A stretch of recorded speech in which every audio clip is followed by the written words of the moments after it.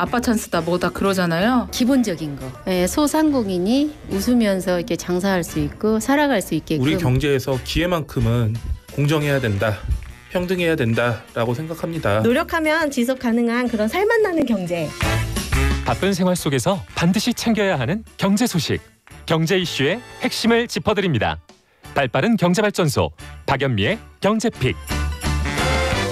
네, 6085님 오늘 헤어스타일 컨셉이 성벽을 날아다니는 고려 무사인 거죠. 설마 절 보고 하시는 말씀인 것 같은데 완전 맞습니다. 황비용 컨셉이에요. 자, 1790님, 음, 저희가 보내드린 달력 받으셨군요. 인증샷 보내주셨는데 고맙습니다. 백지장 같던 저의 경제 지식을 차곡차곡 쌓아주, 쌓게 만들어주신 것도 고마운데 노공, 노경의 달력까지 받으셨어요. 어, 그러셨구나. 저는 사실 이 권한이 전혀 없어서 모르는데 노경의 달력, 아, 이거 묻고 더블로 가는 거 굉장히 행운인데 축하드립니다. 그리고 제 옆에 또 좋은 소식을 가지고 오신 분이 한 분 나와 계시네요. 김현우 행복자산관리연구소장 나와 있습니다. 안녕하세요. 네, 안녕하세요. 오늘 저희가 퇴직연금 관련 제도가 달라진다 이거 물어보려고 모셨잖아요. 네. 새 소식이 있으시던데요. 어떤 새해부터 뭔가 굉장히 의미 있고 굵고 아. 짧은 프로그램을 하나 맡으셨다고 네네. 들었습니다. 옆 옆 옆 회사이죠? 저기 네, M본부에서. 네, M본부에서. 네, 축하드립니다. 네, 잠깐 짧은 거, 짤막한 거 맡게 됐습니다. 감사합니다. 그래요. 경제발전소가 이런 아유, 프로그램입니다. 깜짝이야. 이게 사람 잘 되게 하는 게 어렵잖아요. 그렇죠? 네, 그렇죠. 안 되게 하는 거는 쉬운데 네. 잘 되게 하는 건 어렵지만 저희가 같이 하시면 이렇게 다들 잘 되십니다. 김도영 기자도 그렇고요. 네. 자, 저희도 잘 되게 해주세요. 네, 기도하겠습니다. 우리나라 퇴직연금 수익률이 네. 사실상 마이너스다, 굉장히 아. 낮다 이런 얘기 많이 해주셨는데 그렇죠. 내년에 퇴직연금을 조금이라도 더 불릴 수 있게 디폴트 옵션이라는 게 생긴다 이런 얘기가 있어요. 예. 설명 듣기 전에 네. 우리 복습 한번 하고 갈게요. 퇴직연금 유형 네. DB와 DC 너희들은 누구니 알려주세요. 이 게 복잡하실 텐데요. 그냥 간단하게 영어로 돼 있어서 그래요. 근데 우리말로 해도 어려운데 이 퇴직연금이라는 제도의 핵심은 뭐냐 하면 기존에는 회사가 갖고 있던 퇴직금 회사가 문을 닫아버리면 근로자한테 못 줄 수 있잖아요. 그래서 근로자한테 줘야 될 퇴직금을 그냥 평상시에도 외부 금융기관에 맡겨놔라. 은행이나 증권사, 보험사 같은 곳에 미리미리 떼서 맡겨놓고 있다가 회사가 문을 닫아도 근로자한테는 퇴직금이 지급되도록 이게 퇴직연금 제도의 핵심입니다. 그런데 왜 퇴직연금이라고 부르냐? 그 퇴직금을 일시금으로 쓸 수도 있지만 연금으로도 쓰게끔 만들어주고 연금으로 쓰면 세금을 깎아주는 제도 이게 퇴직연금 핵심이거든요. 그런데 이 퇴직연금을 그러면 회사에서 사회금융기관에 이 보관을 할 때 어떤 방식으로 할 거냐에 따라 가지고 크게는 두 가지로 나뉘어요. 이 DB형, DC형 이렇게 있는데 DB형은 뭐냐면 지금 퇴직연금이 도입돼 있든 안 도입돼 있든 근로자 퇴직급여 보장법에 따라서 퇴직금을 계산하는 방식 우리 대부분 알 겁니다. 월급 곱하기 근속연수 뭐 대부분 이렇게 알고 계시잖아요. 그러니까 거의 비슷한데 어, 퇴직 직전 3개월 동안의 임금 곱하기 근속 연수라고 보시면 돼요. 그래서 핵심은 그거죠. 신입사원 때는 내가 월급이 얼마 안 되더라도 한 200만 원이었다가 네. 한 10년 동안 계속 200만 원이야. 그런데 10년 후 거의 뭐 퇴직할 때쯤 되면 500으로 뛴다. 음. 그러면은 과거의 월급과는 상관없이 퇴직 직전에 500만 원 곱하기 10년 이렇게 하는 거니까 이게 임금 인상률이 높고 어, 퇴직 직전에 월급이 높을수록 어, 더 유리한 거죠 퇴직금은 네. 그 제도가 DB형이고 이거는 회사가 돈을 관리를 합니다. 아, 그래서 수익이 나든 못 나든 상관없이 회사 돈으로 굴리다가 나 마지막에 가서 이 직원이 퇴직할 때 임금을 따져가지고 어, 준 지급을 해주는 거죠. 그래서 DB형은 근로자가 신경 쓸 게 없고요. DC형은 뭐냐면 1년에 1년 12달 월급 중에 한 달치 이상의 월급을 근로자가 관리할 수 있는 계좌에 넣어주는 거예요. 뽑을 수는 없고 관리만 할 수 있는. 아. 그래서 1년에 한 달치 월급씩을 꾸준히 주고 있다가 그걸 알아서 관리하게 만들고 나중에 수익에 따라서 가져가는 거죠. 그러다 보니까 임금 인상률이 낮은 그러니까 신입사원도 200만 원, 뭐 한 10년 동안 근속하신 과장님도 200만 원 이런 회사에서는 차라리 그 돈 내가 굴릴게요. 라고 하는 게 유리할 수 있는 게 DC형. 이렇게 이제 크게 두 가지로 나뉘어진다. 이렇게 보시면 되고 뭐 IRP 같은 경우에는 직장인이나 자영업자들이 개인형 퇴직연금이라고 해서 가입하는 제도가 있는데 어, 우리가 오늘 알아야 될 거는 이 DB형과 DC형 이렇게 크게 구분되는 것 중에 뭐 DC형이다 이렇게 아시면 되고요.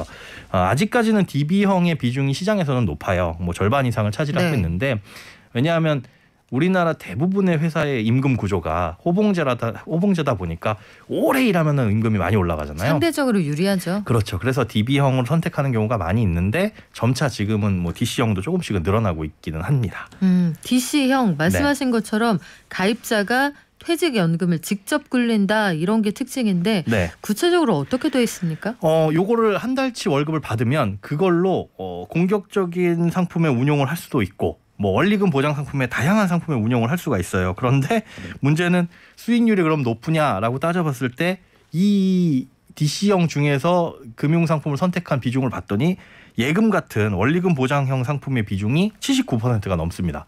그러니까 대부분 다 안전하게 보관을 하고 있어서 음, 수익률이 낮다는 거죠. 그러다 보니까 원리금 보장형 상품 수익률이 작년 말 기준에서 DC형은 1.69%, 뭐 IRP는 1.2%니까 은행 정기예금 정도 수준밖에는 안 된다. 근데 물가도 많이 올랐잖아요. 네. 물가 상승 고려하면 결국은 이런 원리금 보장 상품에 넣어놓은 퇴직금은 뒤로 후퇴하고 있다. 아, 이렇게 보실 수가 있는 거죠. 그런데 DC형 중에서도 투자형 상품, 실적 배당형 상품 이런 펀드에다 넣어놓은 경우에는 DC형 같은 경우에 뭐 13% 넘게 수익이 나기도 했고요. 뭐 IRP는 거의 12% 가까운 수익을 내긴 했는데 물론 투자를 해서 반드시 수익이 매번 높아지는 건 아니지만 아, 그래도 가능성은 있다는 거, 어, 그 차이가 좀 있습니다. 어떤 게 본인에게 맞느냐 이거 선택하기에 따라 좀 달라지게 질 텐데 그렇죠. 어, 실적 배당형보다는 원리금 보장형을 선호하는 게 사실은 퇴직금에 대해서는 좀 보수적인 입장들이 많으니까요. 그렇습니다. 그래서 디폴트 옵션이라는 게 도입된다고 하는데 네. 이게 어떤 기능입니까? 우리말로 하자면 그냥 기본값, 아, 기본값이라고 보면 되는데 네. DC형이 도입되면 근로자가 맨 처음에 금융상품을 선택을 해야 돼요. 뭐 예금, 보험, 펀드, 뭐 파생상품 이런 것 중에 선택하세요라고 물어보는데 잘 모를 수 있잖아요. 대부분 분들이. 네. 그리고 매번 매번 이 퇴직금 아유 난 20년 후에 퇴직인데 30년 후에 퇴직인데 관심 안 가질 수도 있고 그래서 선택을 안 하게 되면 기본으로 그럼 어떤 금융상품을 골라줄 것이냐. 금융사 입장에서는 이걸 마음대로 막 주식형 펀드에 넣었다가 반토막이 나버리면 큰일이 날 수 있으니까 지금까지는 어떻게 해왔냐면 대부분 금융사가 안전한 원리금 보장형 상품으로 그냥 넣어놨습니다.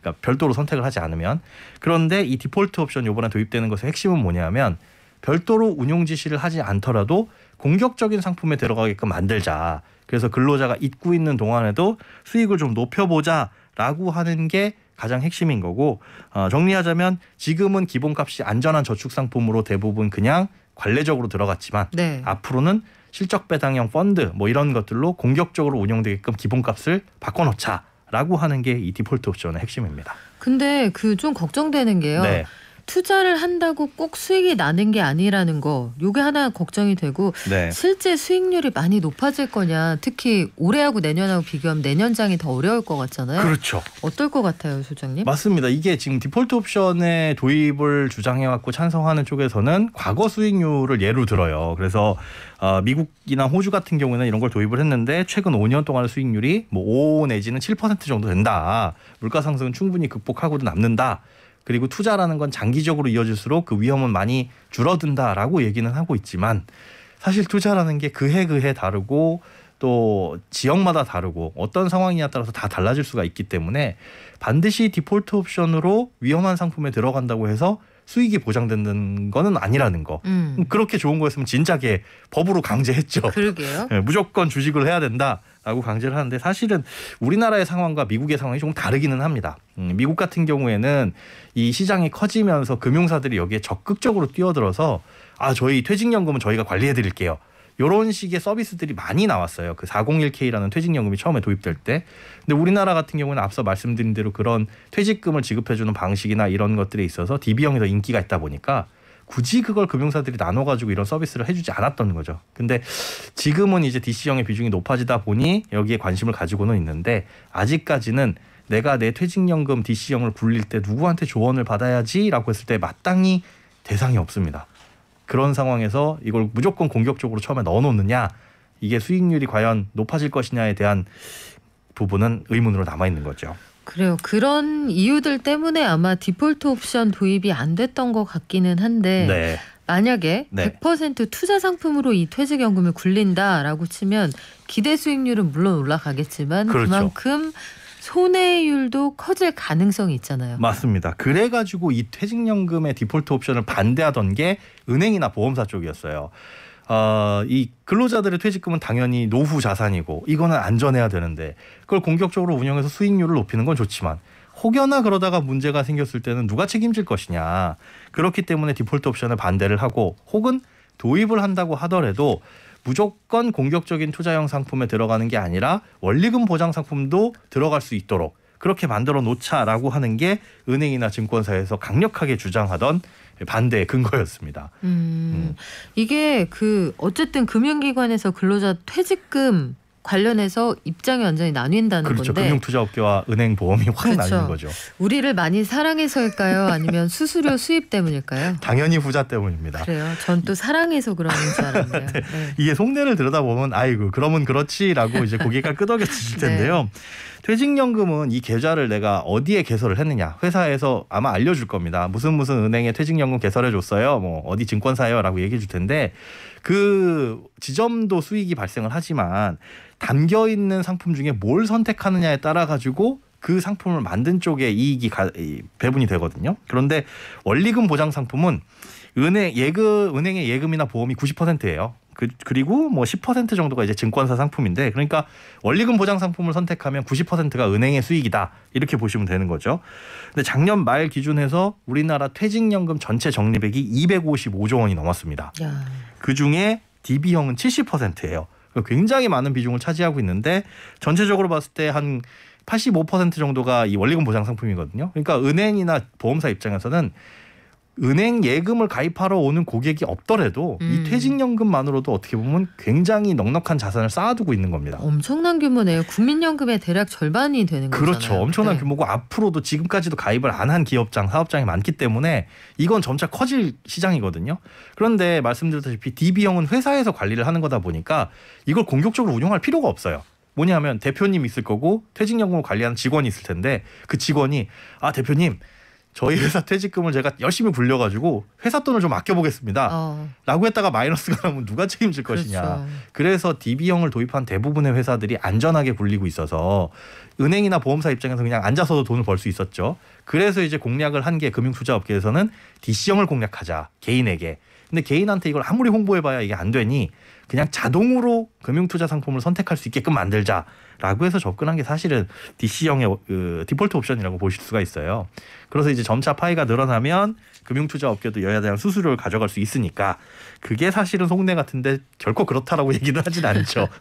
우리 퇴직연금의 수익률을 높이기 위해서라고는 얘기는 하지만 결국은 좀 개인이 신경을 좀 써야 되는 상황이 된 겁니다. 그냥 약간 그런 느낌도 있어요. 야 간식 좀 나눠 먹자. 네, 그렇죠. 2학년 형들이 1학년 입학했을 때 좀 나눠 먹자고 하는 그런 느낌도 약간 있는데 네, 여 여하튼 퇴직금의 수익률을 좀 올리면 네. 노후 보장에 도움이 될 테니까 투자자 그 적극적으로 얘기하면 가입자들도 네, 공부를 좀 하셔야 될 것 같은데 그렇습니다. 안전한 걸 나는 선호한다. 네. 나는 높은 수익률 필요 없다. 이런 분들도 있을 수 있잖아요. 당연히 계시죠. 이런 분들은 어떻게 선택할 수 어, 있어요? 그런 분들이라고 해도 이제 의무적으로 강제적으로 투자 상품에 들어가는 건 아니고요. 원리금 보장 상품 나 하고 싶다라고 금융사에 얘기를 하면 기존처럼 뭐 예금이라든지 단기 보험이라든지 이런 거 선택을 할 수가 있습니다. 그래서 퇴직연금이 도입된 그리고 특히 이제 DC형에 관련된 얘기니까요. DC형에 내가 가입돼 있다라고 한다면은 이제부터는 신경을 좀 쓰셔야지 내가 생각하지도 못한 방향으로 엉뚱하게 퇴직연금이 튀어나가는 수는 없으니까 그거는 좀 참고를 하셔야 됩니다. 네. 마지막으로 디폴트 옵션 어디서 어떻게 고르면 되는지 짧게 알, 알려주시겠어요? 네, 해당 금융사마다 준비해 놓은 상품은 다양할 거예요. 그런데 뭐 대부분 지금 한 다섯 가지 정도로 구분이 돼요. TDF나 아니면 뭐 money market 펀드나 인프라 펀드 이렇게 좀 공격적이고 혹은 안전한 거 있으니까 아, 내가 가입돼 있는 DC형 요 퇴직연금 사업자 그러니까 금융사에다가 어떤 거를 선택할 수 있는지 에, 꼭 한번 물어보시고 내 상황에 맞는 뭐 퇴직이 가까웠다 이러면은 안전한 상품 쪽으로 혹은 좀 멀리 있다 그러면 공격적인 상품에서 어, 좀 비중을 조절하는 쪽으로 개인이 좀 신경을 꼭 써주셨으면 좋겠습니다. 그리고 비율을 스스로 좀 나누시면 좋겠네요. 네, 그렇죠. 짬짜면처럼. 어 맞습니다. 아, 저는 그렇게 할까 했는데 아차 퇴직금이 없네요. 네, 지금까지 행복자산관리연구소의 김현우 소장이었습니다. 고맙습니다. 네, 고맙습니다.